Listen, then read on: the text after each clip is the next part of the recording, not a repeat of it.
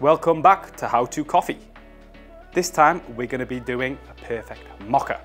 What is a mocha? Mocha is simply hot chocolate with espresso in. It's a very similar process to making a hot chocolate, except we're not making a paste with water, we're going to be making a paste with the espresso. I'll show you now. Same process, let's get this ready.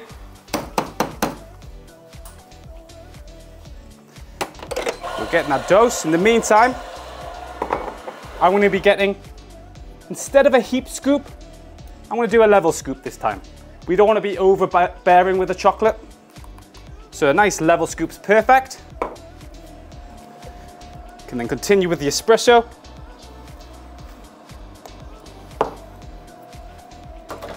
This espresso is going to go directly on top of the powder. Great stuff. While that's doing that, let's steam the milk. We're going to be steaming the milk the same as we would a latte. We're going to be dosing the same amount of milk as we would a latte in these cups, where the spout starts, remember?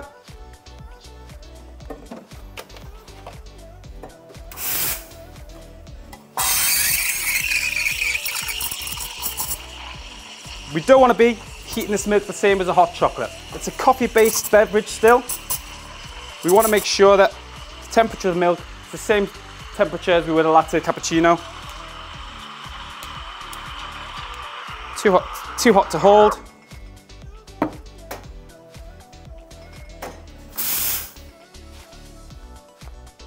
Let's let that milk rest a bit. In the meantime, I'm going to make that paste with the coffee and the powder. A teaspoon can do the job, but with this particular drink, I actually recommend a mini whisk. Put some care and love into this side of the beverage and you'll end up with a far superior drink to just rushing it. Lovely stuff. Powder's looking nice and dissolved now. We're ready to pour the milk. Let's make sure we swirl this milk around. As we've been talking, that milk and foam is being separated. We need to make sure that it's combined in one entity.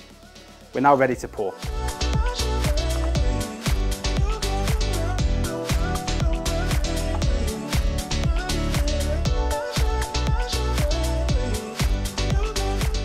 Beautiful stuff. My colleague Heather's favourite drink.